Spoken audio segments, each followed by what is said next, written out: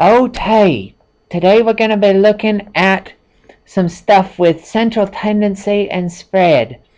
So we're going to start off with a class of 24 students and how often they ate out for dinner last month. And so you can see that some students didn't eat out at all last month, and a couple of students ate out a whole lot, some of them almost every day. So what we're going to do is we're going to go through and do each of these six pieces and talk about the different statistics that go along with this data. Now, the first thing it asks us to do is create a column or dot plot of the data. Now, you may or may not have done this in class, so what we're going to do is go ahead and just build it. So I have several different values here from 0 to 30. And so I'm going to create a little chart here. I'm going to do the column first. Now, I'm going to have 0, 1, 2, 3, 4, 5, 6, 7, 8, 9, 10, 11, 12, 13, 14, 15, 16, 17, 18, 19, 20. And I don't really want to go out to 30, so I'm just going to zip 30. All right, so that's going by ones. 2, 3, 4, 5, 6, 7, 8, 9, 10. I'll mark the 5s just so 11, 12, 13, 14, 15, and then 20, and then that's 30 there. All right, so now I'm actually going to do the dot plot first. A dot plot just means that you put one dot for each data point. All right, so one data point for 0 means that I'm going to put one dot down.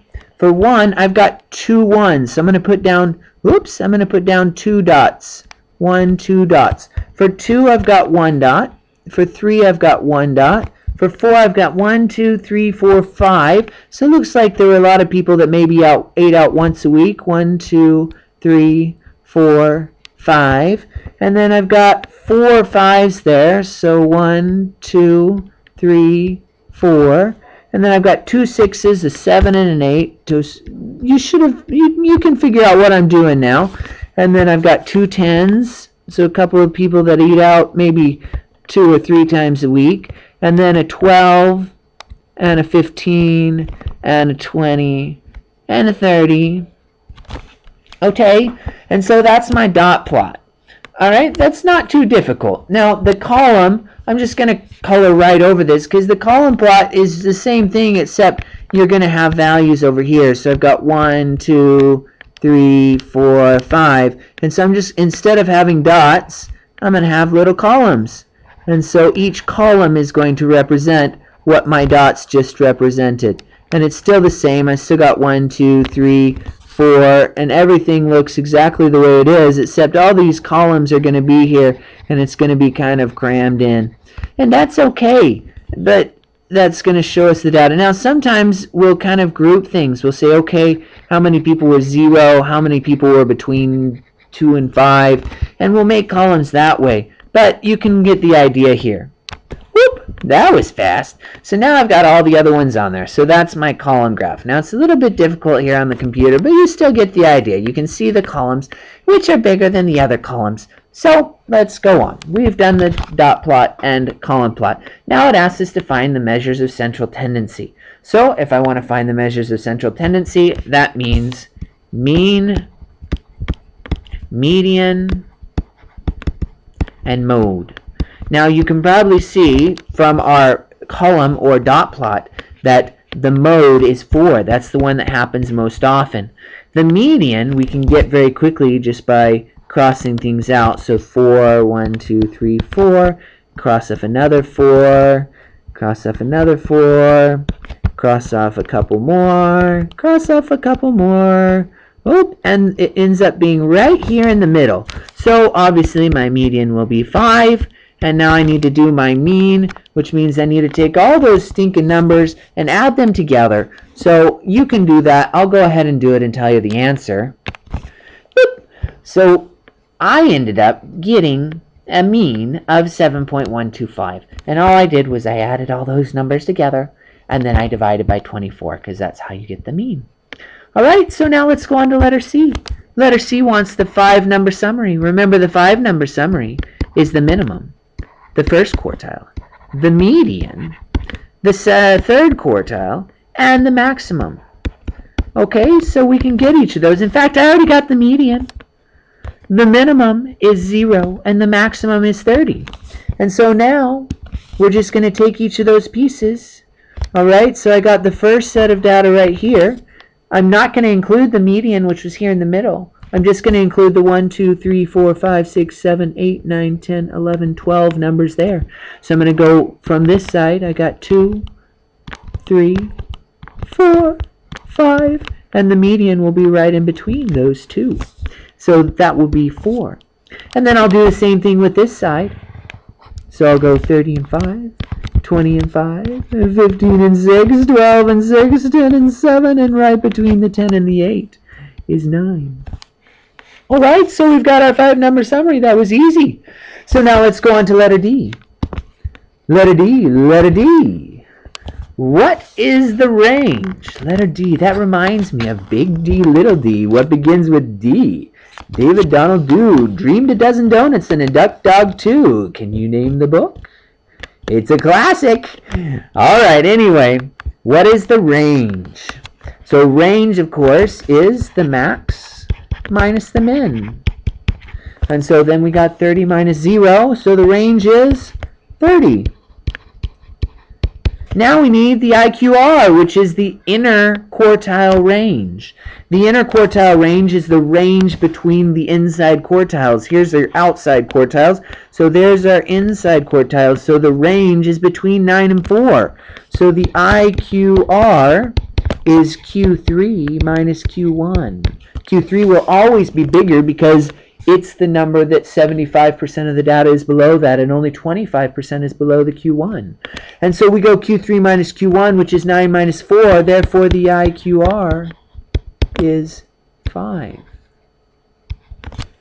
Ooh, very interesting. So now, my friends, we will now go on to letter E. Letter E asks, are there any outliers? Show your work.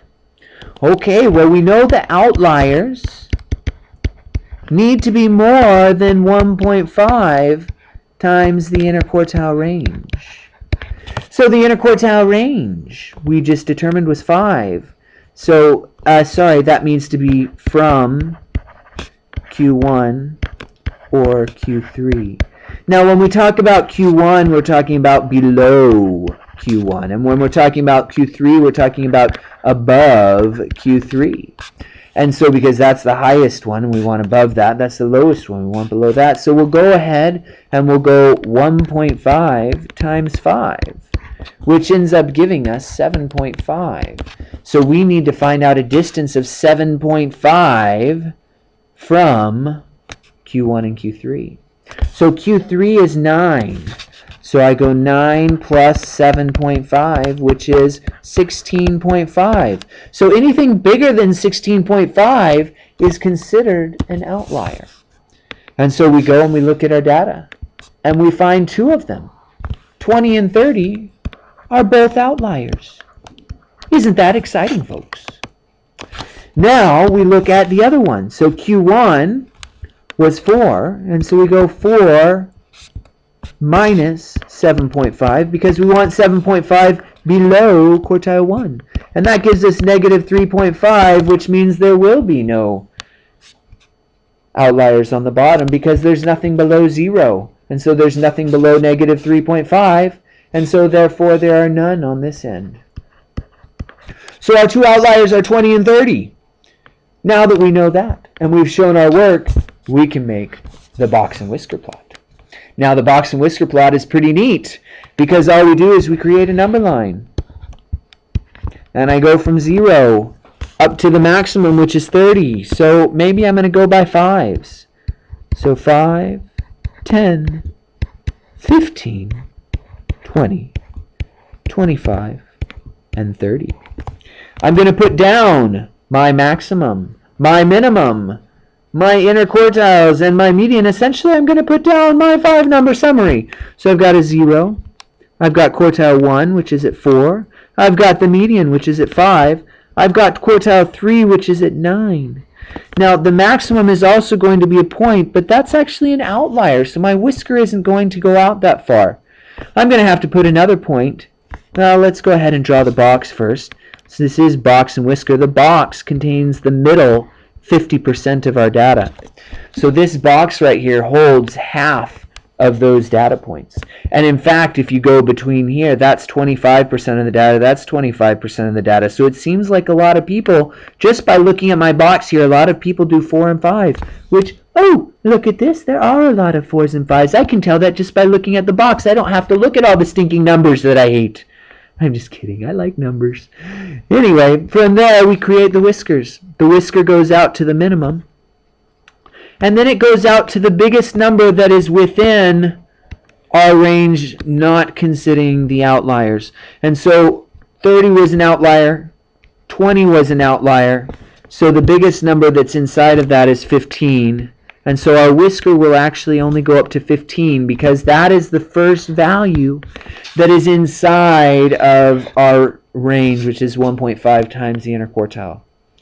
And so from there, the other two points, we still need to show them, but they will be shown as outliers, just extra points. These are the weirdos that go out to eat so often that are probably going to be obese and eat enough that they could feed a whole farm of pigs. So therefore, we are done. We've created a column or dot plot. In fact, we did both. We found the measures of central tendency.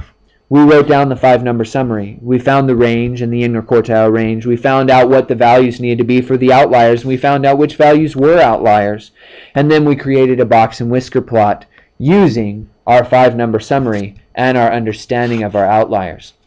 Keep in mind that the outliers will be individual points. The whisker will only go out to the last point that is within this 1.5 of the interquartile range. So the first point inside of the 16.5, which was for us 15. All right, that goes through a question. It goes through everything you could possibly need to do on this question. And therefore, we are done. See you next time.